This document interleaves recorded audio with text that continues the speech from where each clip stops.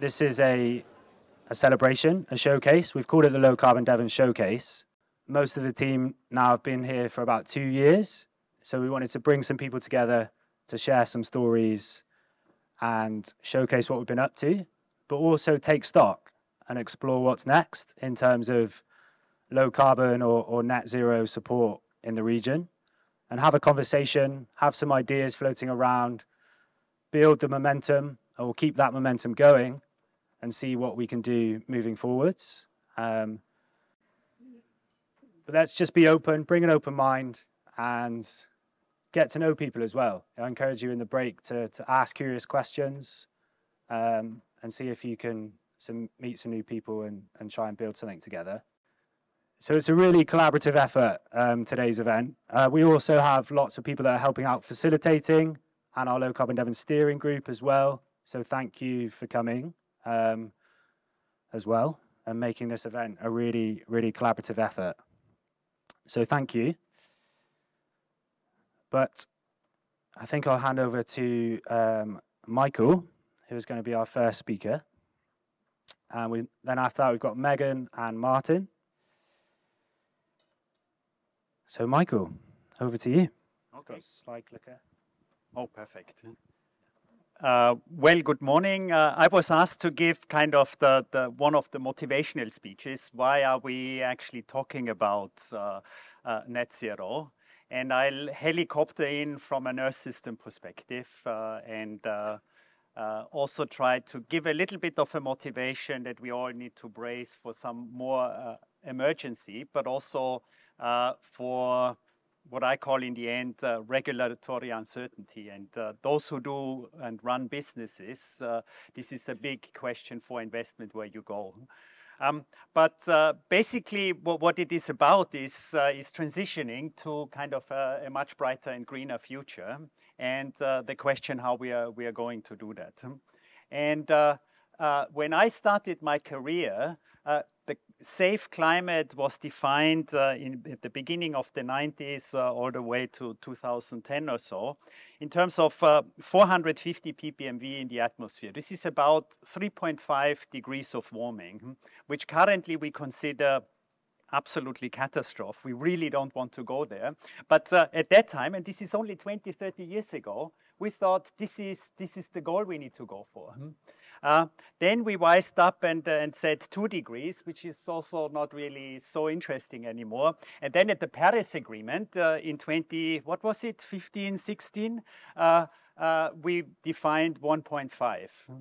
And so, so here, uh, zero net as a target uh, is almost surely not to survive. We will always become more and more ambitious, especially because we don't do anything on a global level. We don't do enough, and therefore we will have to become more, uh, more, uh, more ambitious. Um, me as an academic, I need to do definitions, so I please bear with me. um, so what we have is, when you look, these are the scenarios uh, that lead to 1.5 or 2 degrees. So what you see here is, you first, we're still going up, and then we have peak emissions up here, and we are still going towards the peak. We did not manage on a global level, and this was even on the radio today, we, we did not manage yet to bend the curve to actually go down.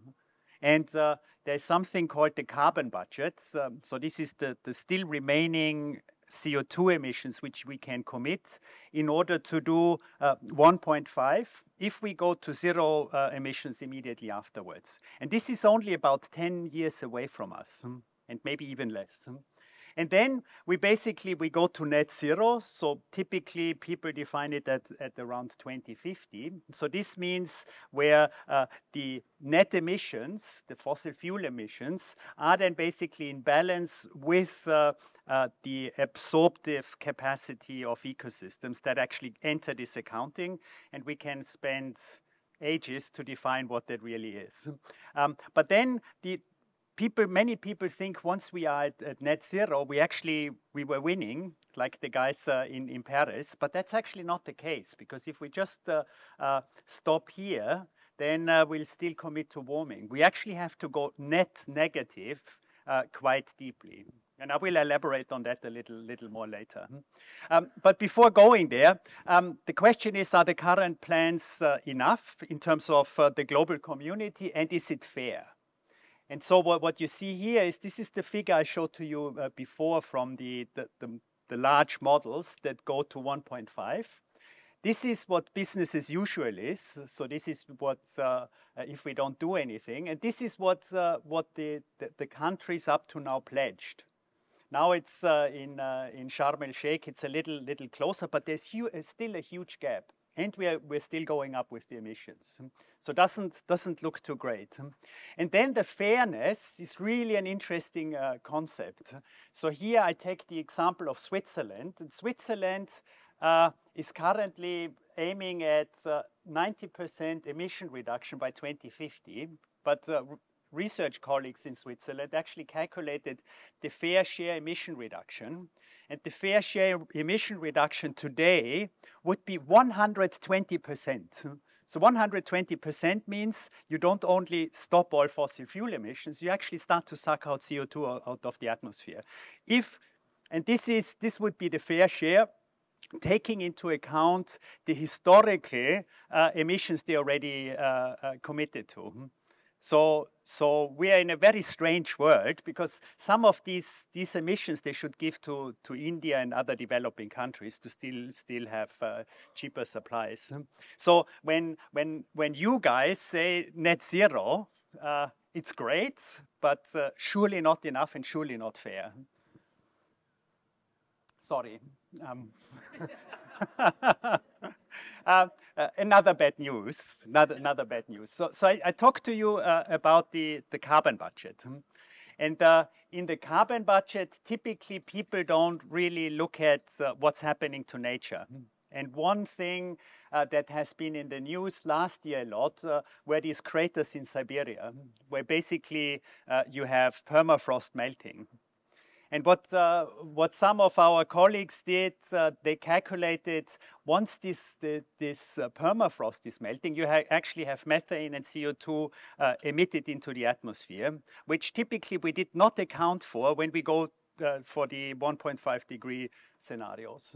And then we calculated if we actually take this Earth system uh, feedback into account, these additional emissions we were not planning for, we actually found that uh, we have a 5% probability that the carbon budget is already gone today. So this means that the world should actually shut down all CO2 emissions immediately and start sucking uh, CO2 out of the atmosphere.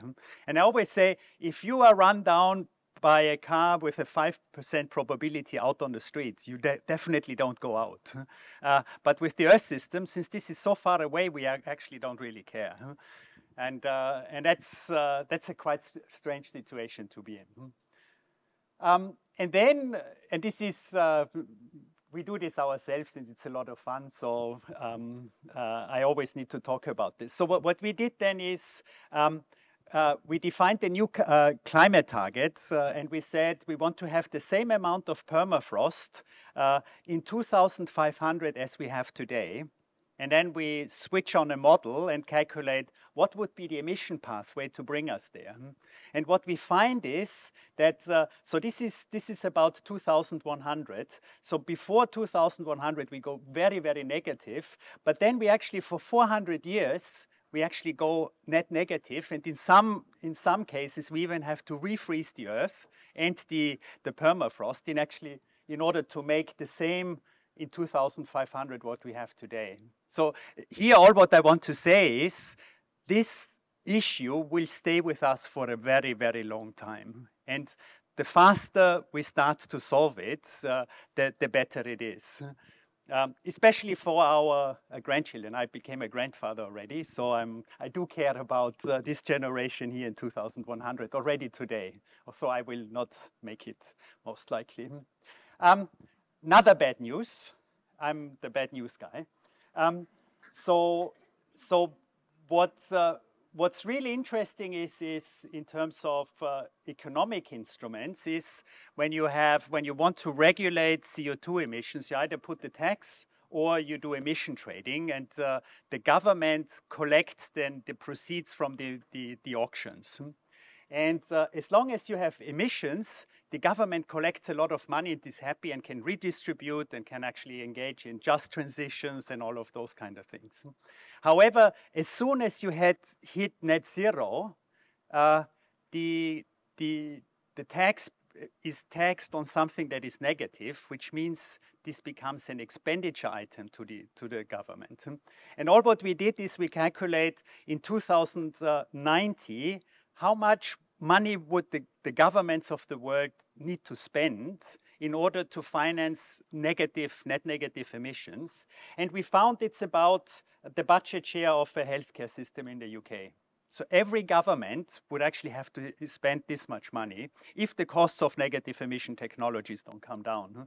And of course, if you think about fair share, those countries who committed a lot of historical emissions, they would actually have to pay more than others. So here, basically, very quickly, the, the entire government budget is gone.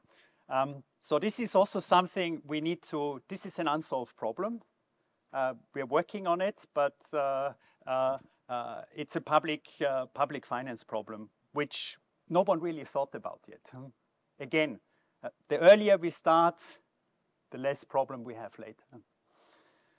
Um, and so what, what's for sure going to happen is that net zero definitions will change very soon. Simply two reasons, we don't do enough, therefore we have to go to net zero much, much earlier. Uh, and we have all of these, uh, these Earth system feedbacks and so forth. And we might have in international negotiations, we, we, we need to, uh, to uh, contribute more. But overall, we also need to think about uh, this overshoot here. So this is the overshoot of CO2 in the atmosphere. And now we are planning for such a schedule of, uh, of emission reduction where we go net zero in 2050 and afterwards we compensate for the sins we committed up here. Uh, but we have this overshoot which triggers uh, some of these uh, Earth system um, uh, trigger points uh, like permafrost. So we might actually need to go into a situation where we do much more in terms of net zero much earlier, where we commit to more negative emissions than we anticipated otherwise. And, and so, so here, regulatory risk will come in uh, quite soon, I would say. So uh, just to summarize, I probably, uh, I'm over time already. So it's an absolute no-brainer to go for, for killing uh, CO2 emissions from fossil fuels. I think that's, that's, uh, that's super, super clear. However, we will also have to prepare for a net negative economy. And this we need to prepare already today. And probably this has not been at, the, at your radar screen uh, uh, up to now. Uh, and we will have to live with surprises, both from nature but also from, from policies. Uh, and as a counter reaction, countries like the UK will have to kind of overcompensate for others who don't. And uh, uh, and what still needs to happen is uh, what in climate negotiation terms is called common but differentiated burden sharing. Uh, between countries on the international level, this is not worked out yet. Again, as we look at Sharm el Sheikh at the moment, uh, we are not getting there. Uh, we did not solve the, the intergenerational problems in the sense of who is going to finance the net negative economy later on uh, and how difficult it is. And plus, there are also quite a lot of technological problems. And then within country, you know, what's the burden sharing arrangement amongst you who are in the room, both as a citizen, a personal consumer, and, uh, and as a company. So uh, what I'm basically saying is if you're a company, uh, but even as a, as a consumer, facing then uh, uh, reg regulation, there's huge uh, amount of regulatory risk ahead of us, simply because we, we, need, we will have to react to, to the news in the future. And and what's interesting is, and this is something I, I do for, uh, for, for some other uh, science uh, in terms of uh, investment calculus, the uncertainty is so huge. And when the uncertainty of kind of future reg regulation is, is uncertain, the best strategy is to actually wait. And that's ex exactly what we shouldn't do. Um, so, so here, working with uh, uh, better signals from policy and regulation would be a great blessing. However, there are inbuilt, uh, uh, uh, um, how shall I say, there are, it doesn't make sense for, for policymakers to be too prescriptive because otherwise you cannot negotiate somewhere else. and so, so here this is an inbuilt problem and uh, only very forward-looking citizens and businesses can actually really solve this problem. And with this, probably should stop now. Thank you.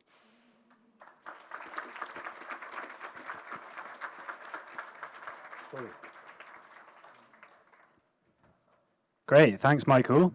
Um, so Michael's joined us from from Oxford as the Environmental uh, Change Institute director. So do you think of some questions? Hopefully, he's presented some some thought-provoking thought-provoking things for you to think about. So next up, we're going to flow straight in to our next speaker, uh, which is Megan, uh, Megan Pearce from the Met Office, who is a scientific consultant. So over to you, Megan. Thanks everyone uh, for having me today. It's nice to be back at the university. Uh, I was a student here um, not so long ago, but longer than I would like. So it's nice to be back to speak to you all today. Um, thanks, Michael, for sort of setting that global context. I'm going to be talking about uh, the UK landscape of net zero. So similar to what Michael was just presenting, this is the, sorry. no problem.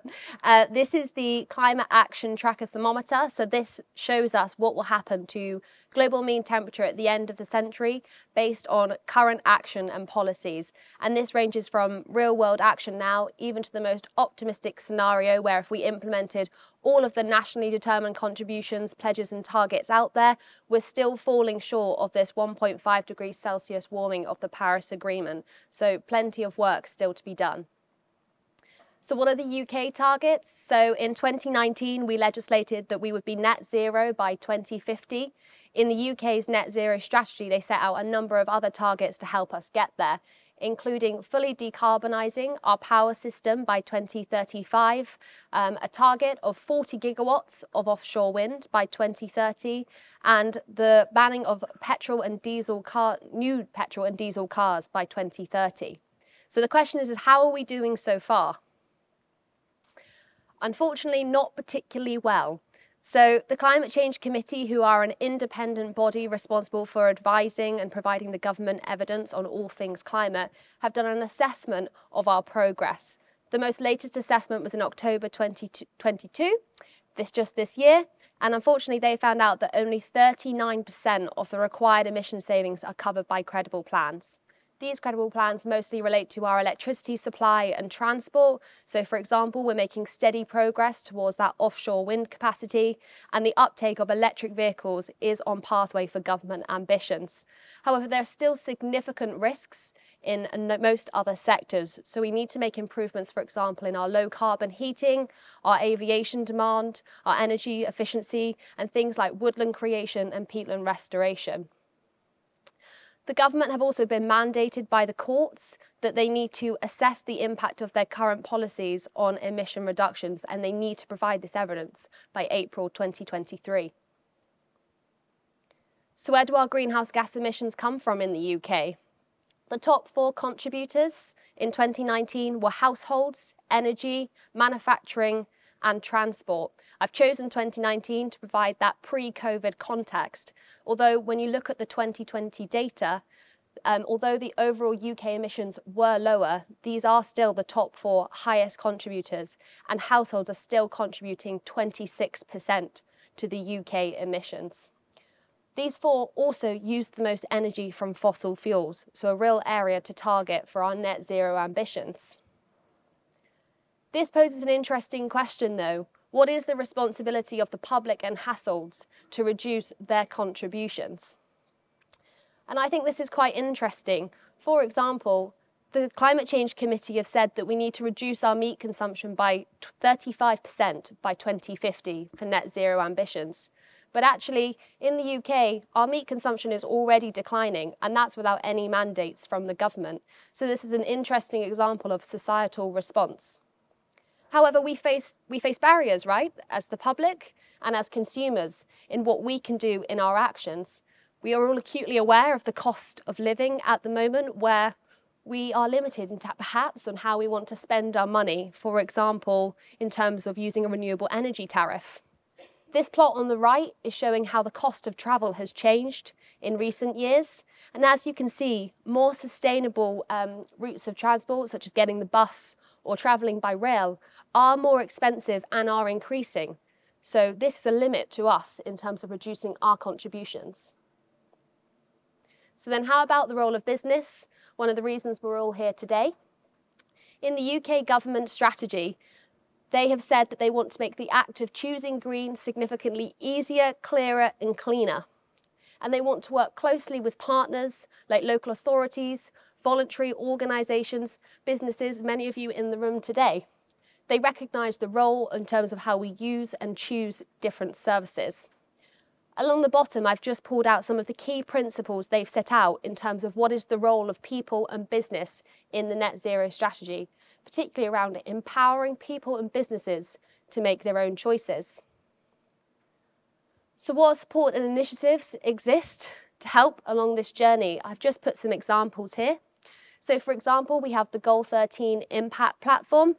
This is a tool which collates cross sector learning on targets, drivers, barriers, and impactful initiatives to encourage cross sector learning.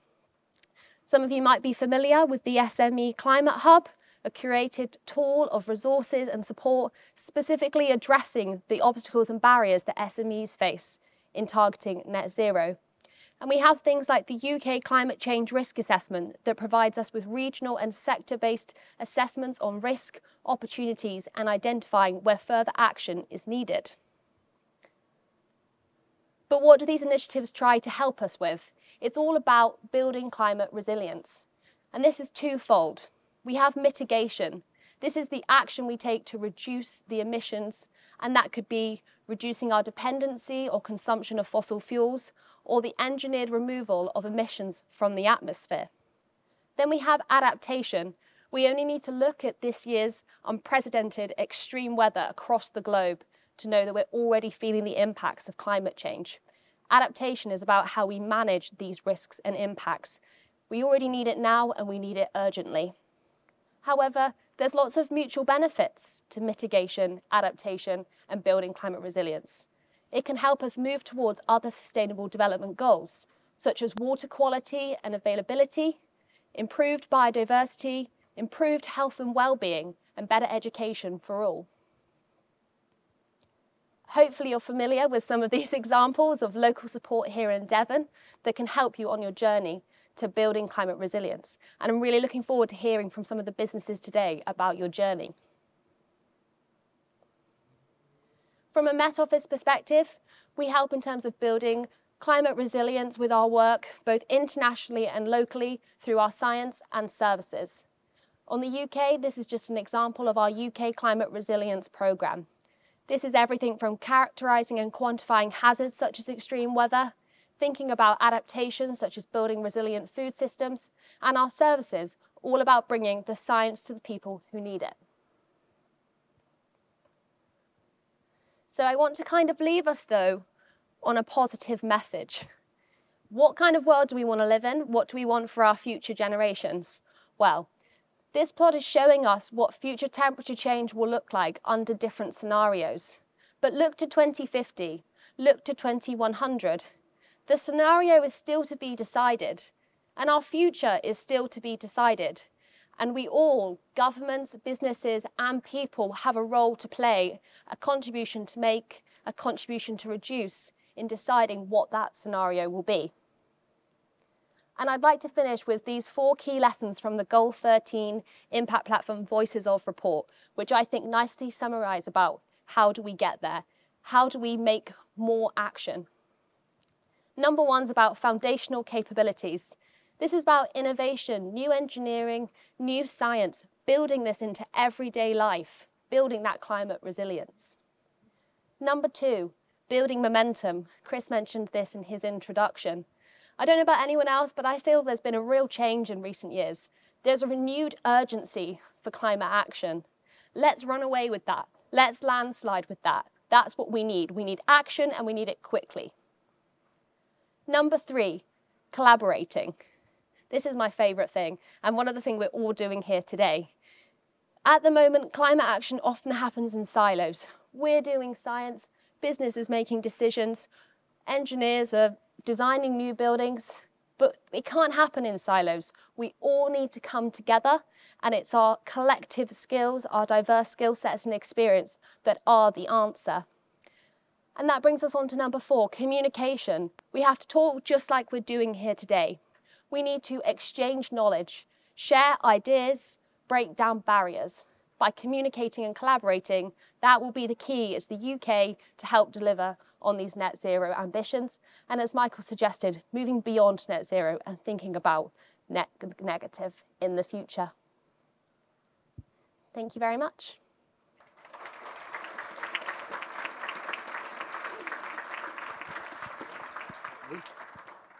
Awesome, thank you. Great, thanks, Megan. Again, do you think of some questions, and we'll, we'll come to those shortly. Uh, but next up, we've got uh, Martin Hunt from Forum for the Future. So I'll hand over to you, Martin. Lovely. Thank you. Uh, good morning, Devon. Hello, hello. Good. We're just checking you're still awake. Um, just, I know it's probably been a long week for someone. It's been a long week for me. Actually, you might see I'm hobbling a bit. That was an overzealous footballing accident on Tuesday, but I'm here. That's the main thing. Okay, good morning. So, um, just a bit about Forum for the Future. I'm really going to talk a little bit about the business landscape as we see it. Forum for the Future, we're, uh, we've been going about 25 years. We're an international non-profit organisation. Uh, although we started off just here in the UK, um, we've now got international offices. We do a lot of work with business, um, large businesses primarily, although some small businesses from uh, time to time, really talking about uh, sustainability. We talk a lot about the transformation that is needed, for example, in terms of our economy and the business landscape in terms of mindsets, models, practices within business, but we also work with other organizations outside of the, the business sector as well. Okay, and I guess the critical thing is we talk a lot about systems thinking and thinking about things in terms of holistic solutions, and hopefully that will come through during the course of my presentation. So, uh, as Michael alluded to in his, his presentation, uh, regulatory risk is going to be a bit, bit of a challenge. And I think what fundamentally, this, where we are today at the moment in terms of both the climate agenda, but actually the business landscape more broadly, we're, we're really in a situation where a relatively stable operating context has now gone. We are in a period of discontinuity. We're in a situation where actually continuing business as usual or incremental change is not going to be enough to, to address the challenges and be resilient to the challenges we're actually now facing. Climate change being obviously a significant element of, of our operating context at the moment. But it is not just simply a question of carbon. It's simply not just a question of climate change. One thing that we talk about a lot in terms of our work is understanding that climate change is actually not happening, it's not taking place in isolation. And many of the big challenges we actually face, whether that be ecosystem collapse, whether that be livelihoods and social justice, um, structural inequalities, health and well-being, and so on. You know, climate change is being influenced or indeed accelerated. A lot of these things are being influenced or accelerated by climate change. Okay? So carbon metrics, the science that you know uh, that Michael's talked about, and what we mean by net zero. Megan's outlined that very, very critical. But one thing we would be advocating business to be thinking about is understanding the interplay between other things that are actually taking place today. And we would say that's actually an opportunity to address interconnected issues. So Megan's talked about a siloed approach in terms of occupations or different sectors. We would also argue that actually we need to be thinking beyond just thinking about carbon emissions and narrow topic specific targets to actually thinking about much more interconnected, holistic type of solutions. Okay, so for example, just on the right there, this is a project we're doing. Um, it's a significant, large project we're doing in in, uh, in our, from our US office, which is really around the idea of regenerative agriculture not only trying to address um, challenges around, for example, carbon, but also around biodiversity, soil, structural inequalities and challenges in terms of agricultural supply chains, impacts upon indigenous communities, and so on. um, and really about trying to reshape mindsets and thinking about what the agricultural system is all about and how we can actually sustain it into the long term through much more regenerative practices. So in terms of the landscape, where we're actually at the moment, just to summarize, you know, I think, you know, economic disruption caused by climate impacts, um, including within value chains, is going to continue and get worse over a period of time. And there's going to be demand for transparency and action across a greater range of issues as a consequence um, of, for example, a much more enlightened, for example, consumer base and citizen base and communities, but also regulatory changes and policy landscape is going to change. And there's going to be demand for greater transparency and action. Already, we're starting to see consumers rewarding those purpose driven brands that are really integrating sustainability, justice, regenerative practices into the way they're thinking and way they're starting to act. Net zero is going to become table stakes for all sectors. You can't avoid this. We're all on one planet, we're all in the same context. For some sectors, it may hit harder and earlier, but it's going to be there for every organization, every business. The widening inequality that we're actually seeing, we you know, Michael touched upon the idea of fairness and in fairness between nations, but actually within nations. You know, we've just seen the challenges around the energy crisis and how that is exposing real inequality for example, within our society, and the gaps there that need to actually be narrowed over a period of time. So the idea of a just transition, not necessarily in just of workers and communities that are wedded to high carbon industries, but us as consumers of energy, us who want to actually travel. You know, we talk about, for example, the costs associated with public transport. I was doing an event in Selby a few weeks ago where we were talking about the growth in terms of EVs, and I was on a table where they laughed they laughed because actually, just actually being able to afford the bus trip is enough for them. So, you know, we are talking about very divergent spectrum uh, where people are actually sitting today in terms of what, for example, this drive to net zero might mean for them in terms of how they move, what they eat, where they live, and so on. But we are starting to see more and more companies make ambitious commitments and back that up with actual action as well. So we would argue, and certainly this is framed in the context of larger businesses, we would argue that corporate climate leadership is certainly about reducing and decarbonizing your operations and value chain as quickly as possible. It's about redesigning business models away from carbon intensive activities. It's about recognizing climate linkages and starting to try and seek and develop those more holistic integrated solutions. And it's not just about businesses in terms of their own operations, it's about the voice they have. It's about what are they advocating for? How transparent are they in terms of their lobbying? I think we could all point to some businesses whose business mindset seems to be predicated on the idea of delay, delay, delay. That's not really going to cut it in terms of the landscape and the challenges we face today. And in terms of the fairness that I've been talking about earlier on, that exists within supply chains for the larger businesses to really help the smaller businesses, the smallholders, if that's agriculture, or the smaller businesses in terms of their manufacturing, supply chains, and so on, making sure that the burden of investment doesn't necessarily fall upon those who are least able to afford it. Just, you know, there's a variety of different businesses out there. Microsoft are talking about carbon negative by 2030 big tech company, lots and lots of money, but very, very interesting in terms of their narrative about trying to actually address historic emissions as well as current emissions. But also, we're starting to see, you know, a variety of different businesses, um, you know, repurposing assets, really rethinking about what they're actually doing as well in terms of their assets, their supply chains, the technologies they actually possess.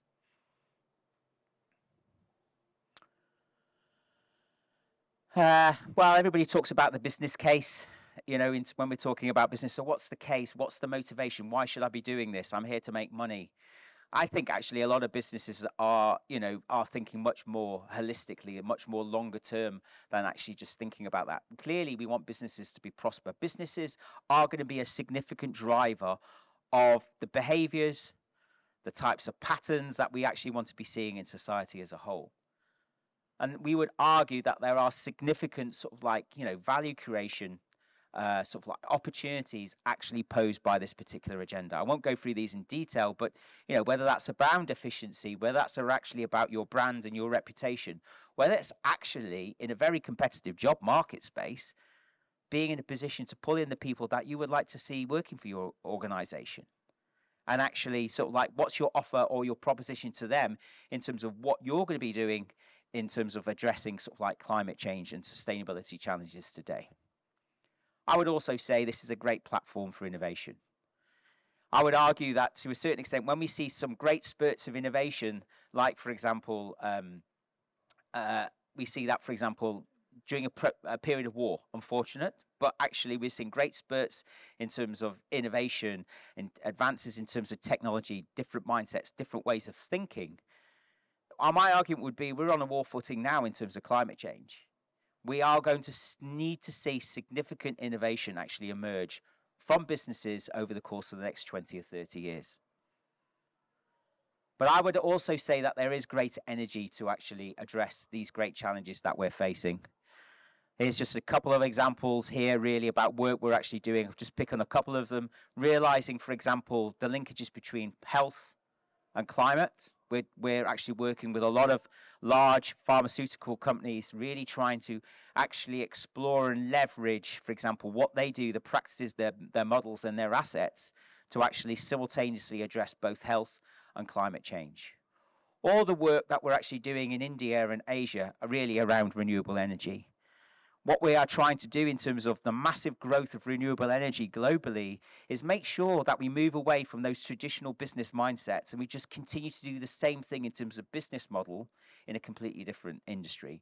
We want to actually be advocating and working with a, a renewable energy sector which is actually trying to address just justice issues as well as ecological issues and trying to do that in an integrated way. But there is great appetite out there. So, Climate change will disrupt economies, businesses, and their value chains. This emphasizes the need for resilience that Megan was talking about. It does require transformation of our models, our practices. Incrementalism is not enough. I think fundamentally it's about up here as well, mindset. But our response represents an opportunity to address some of these interconnected issues um, in terms of the wider world and our operating context. And as I said, I think it provides a platform for great leadership and innovation, reshaping and rethinking how we create and uh, measure value. Finally, in terms of what the way we actually try and frame this at Forum for the Future, we're talking about a just and regenerative approach. So recognizing these planetary boundaries that we're actually exceeding at the moment, creating and distributing value in new ways, understanding that we're all part, a fundamental part of nature, but actually also this fairness and justice issue, respecting everybody's universal rights and potential to thrive. Okay, that's it from me.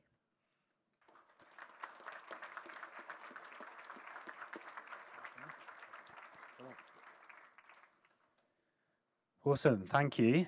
Thanks, Martin, and to Megan and to Michael. So, what we've got a bit of time for now is some questions. Um, so I've I've got some questions, but I'd love to hear from from you as well. So if you do have a question, uh, please do raise your hand. We've got a roving mic, and my my colleague Johnny is gonna is gonna run around with the mic. The mic's just over here, Johnny. Um, and um, try and think holistically. Try and challenge our speakers, um, and let's see what we can come up with. So I'd love to ask uh, Megan, Michael, and Martin just to come and stand at the front. Um, so either direct your question at one of them or, or all of them, and let's see see what we've got in the room. So any questions? Hopefully, I didn't just put you off. By the way. Um, we've got a question here, Johnny. I've got one there as well. From yes, go for it. Um, so to Michael, if if we're struggling to communicate net zero, how do we communicate negative? yeah. How do we communicate? How, how, yeah. So there's there's this new new bit in town, isn't it? Yeah, talking about negative carbon. There's been a struggle to communicate about net zero carbon. This is quite a journey, isn't it? Oh, yeah. So yeah, just to repeat the question. So so how do we So if we're struggling to communicate about climate change already, um, how do we communicate about net negative? I think is the question. Um, any thoughts or, or tips? Uh, very simple. My strategy is to talk about net negative already, that uh, decarbonization becomes a no-brainer. Hmm? you see, but uh, uh, uh, it's, it's a massive challenge. However, the longer we wait, the stronger the, the policy response will be.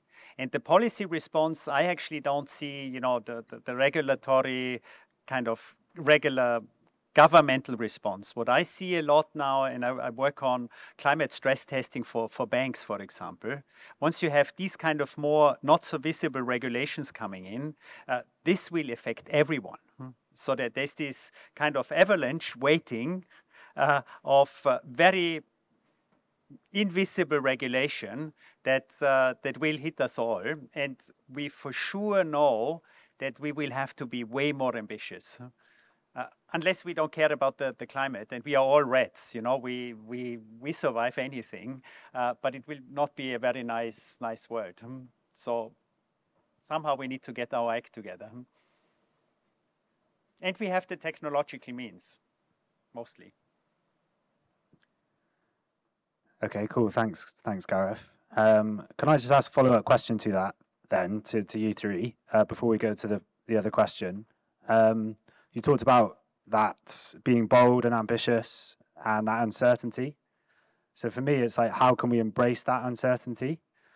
So I just wondered what, what, I mean, you mentioned your, you've just become a grand grandfather, uh, but maybe Martin and Megan, sort of what, what motivates you? I'm not a grandfather, so not motivate me. um, what motivates me? I think I don't think I've always cared about the environment. So I think if you are someone who cares, you don't need motivating because it's instinctive, right? If you care about the environment, the environment's at risk, we're going to do something. How do you motivate someone who doesn't care? About climate change or who doesn't necessarily agree with climate science and i think that's where you have to bring back to these these mutual benefits you don't have to care about climate resilience but do you care about your drinking water? Do you care about your access to food? Do you want future generations? Do you want your children to have good education? Do you want them to have good opportunities and, you know, inequality? Like that's that's what we can motivate people with. That's the story that and the narrative that we can persuade people that this action is worthwhile.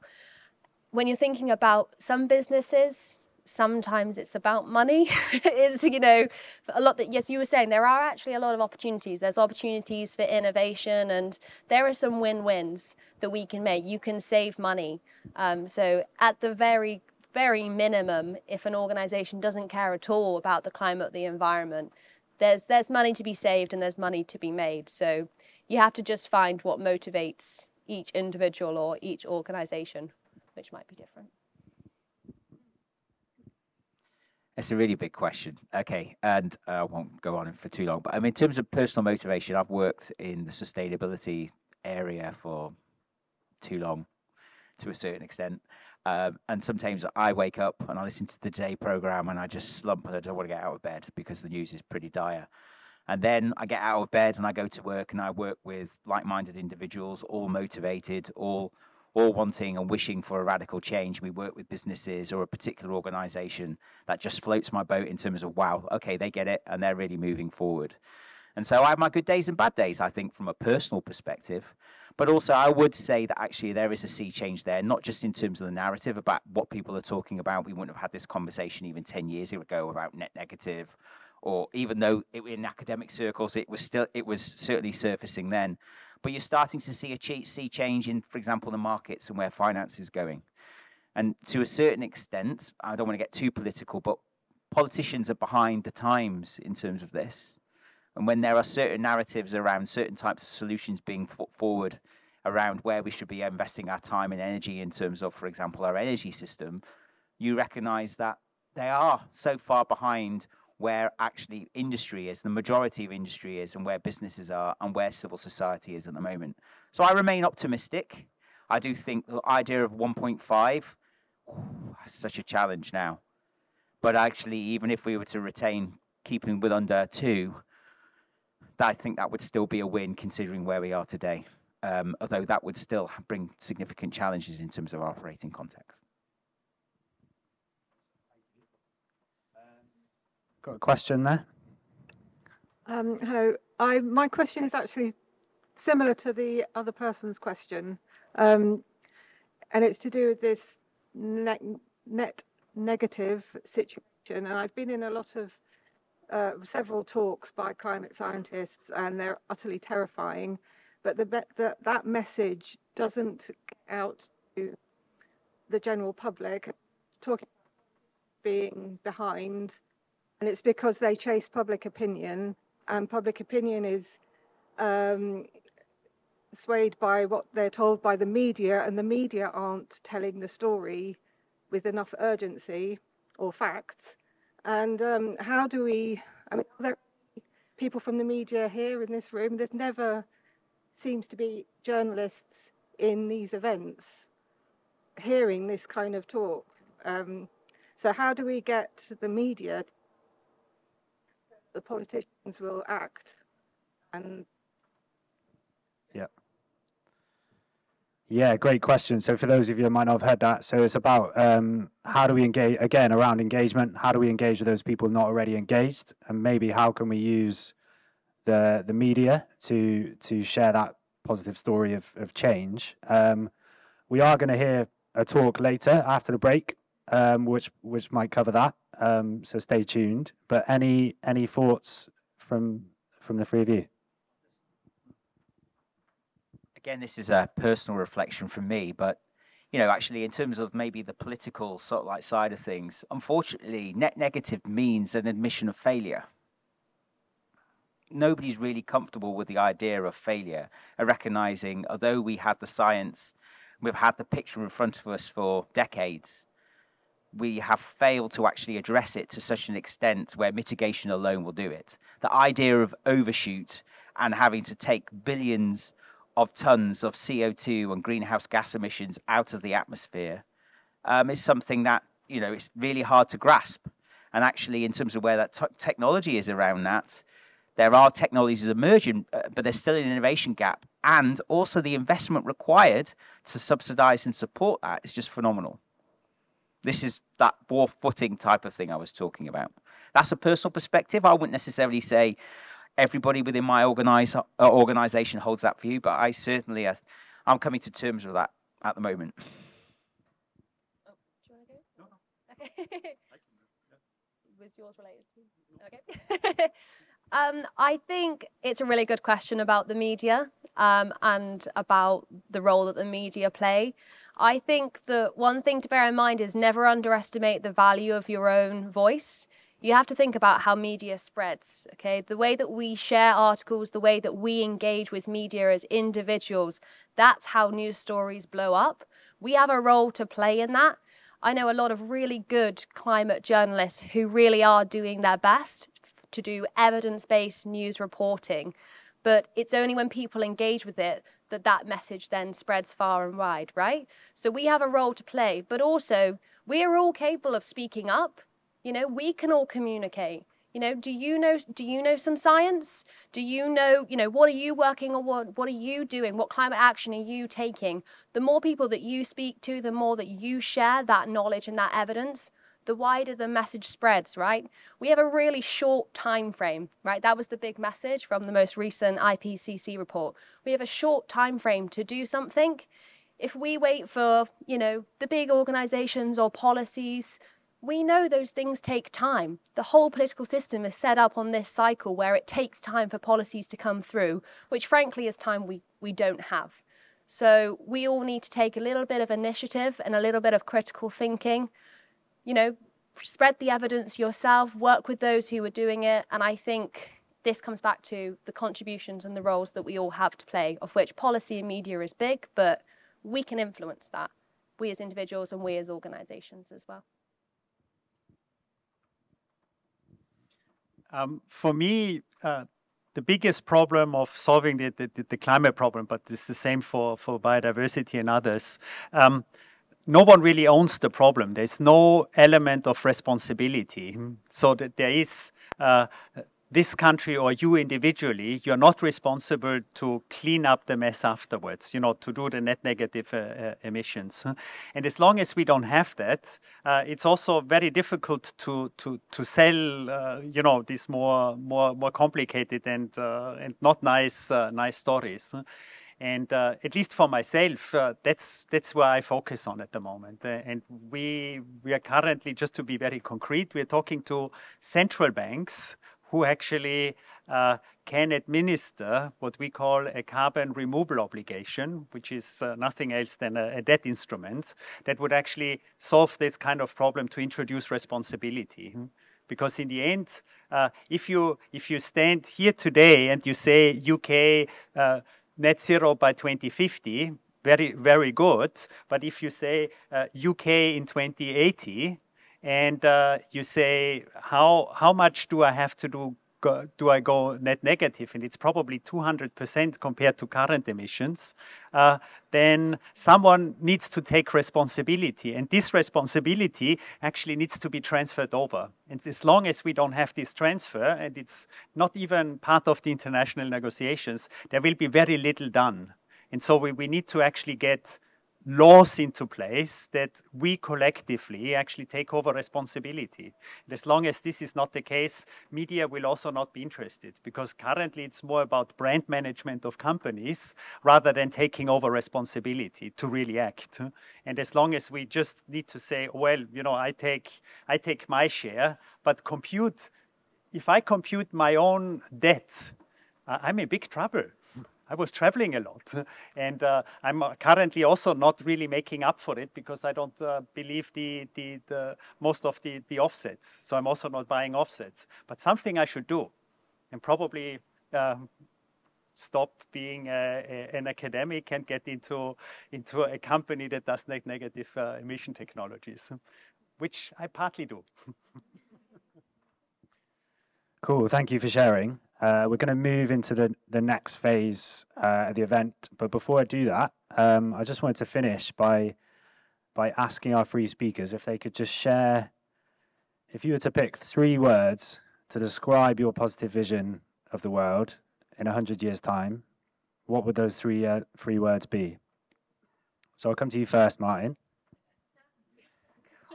Bloody hell. You didn't prime me at all around this as well. I mean, I, you know, I think, yes, yeah, just and regenerative. You got to go first. So you get to take the good ones. they have to be different. oh, should have asked. I wanted just. Um, okay, I'll say fair, uh, collaborative, um, and collective because I think they're slightly slightly different things. Uh, I'm from continental Europe uh, and I like regulation and, uh, and responsibility. Cool, thank you. Yeah, I totally chime with that sense of collective and shared responsibility. Um, so thanks very much. Um, feel free to grab a sheet, but just like to say thank you to our speakers.